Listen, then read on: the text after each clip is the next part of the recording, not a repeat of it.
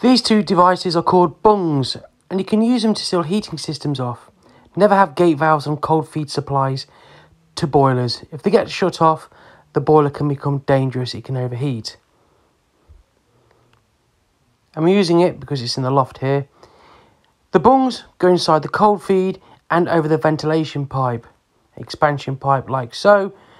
Clean the end a bit with my fingers and the bung goes over it. This stops gravitation and circulation of air, preventing leakage. Also, if you look at this feed and expansion system, look at the brown water. It's pumping over and it's oxidizing. From this, I can tell that the vent pipe needs to be raised.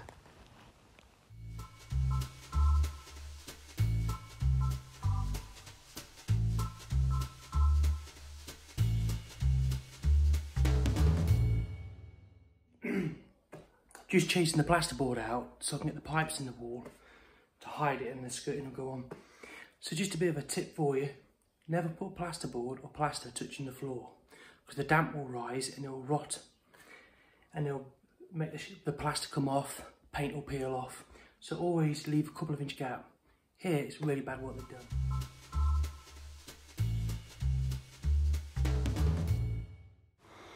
Here microbore is chased in the wall.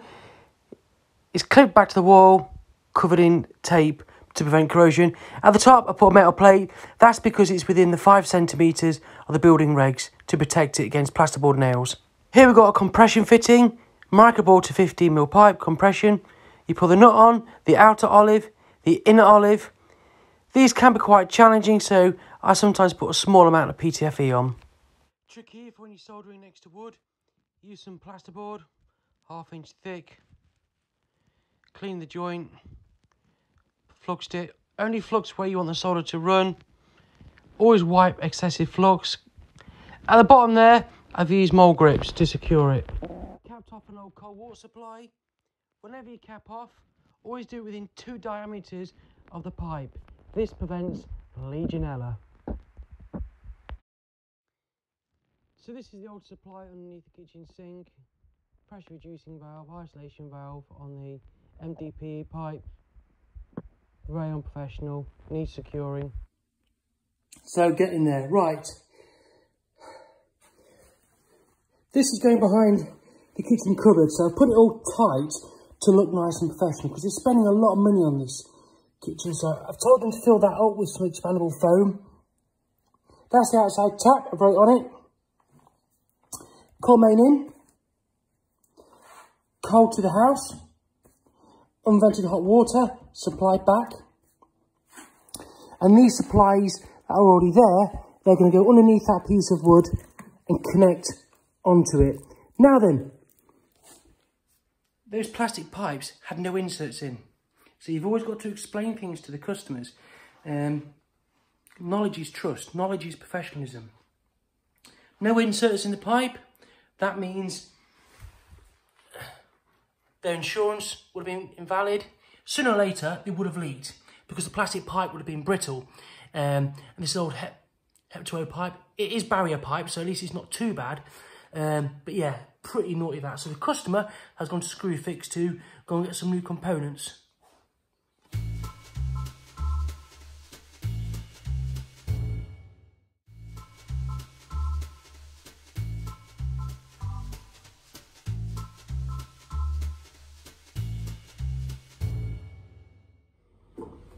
Sunday call out for friends. This guy's given me a lot of advice over the years, so 24-7 for him. He's a righteous man. Here we go. The electrical boiler. They're not very efficient. Um, I'm going to put it down to the pump setting, the bypass setting, um, and maybe the NTC as well.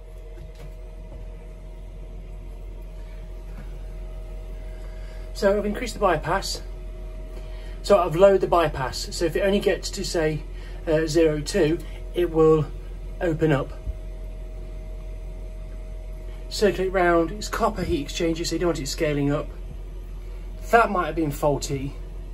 So um, a bit of a, giving it a bit of a clean. So hopefully that's done it. It came up with a temperature flow issue.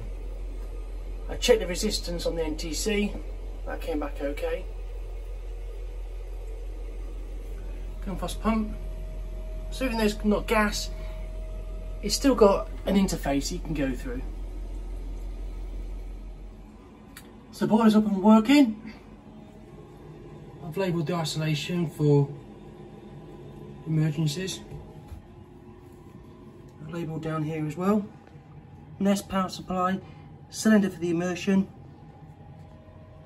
right on there, and that's the cylinder thermostat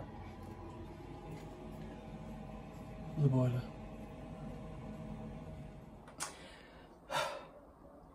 So here we have a leak. I'll show you what I've done next door. I had to take all the boxing up, all the flooring up to access the leak. And it'd been dripping along a cable, leaking through the ceiling um, a metre away from the actual leak. So I've located the leak. So now the strategy I've got is to take the leaking pipe out as a whole, take it outside, refabricate it and put it back in. Um, but yeah, look at the state of this. So the toilet pan was secured levelled with cardboard. Close coupled pan in rigid copper, which I don't like plastic pipe or flexible hoses, but sometimes it's better for doing maintenance work. Um, it wasn't fully soldered there, solder hadn't gone round. So I've cut it there. I was going to unsweat it, but it's too, too tight. Cut it there, I'm gonna cut it there, thread the pipe out, and unsweat that, and remake it all together. cut the chipboard out, look, on the joist, I can go back in.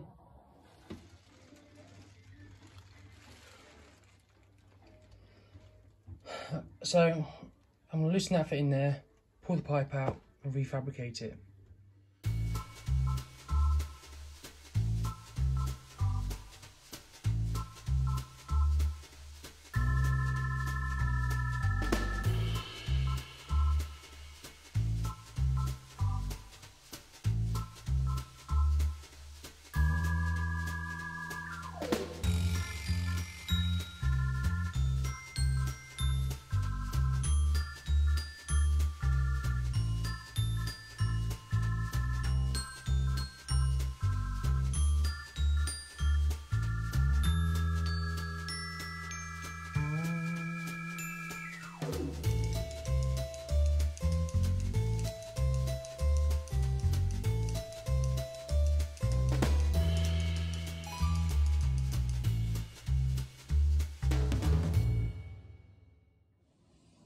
So just here, I've lathered the solder on.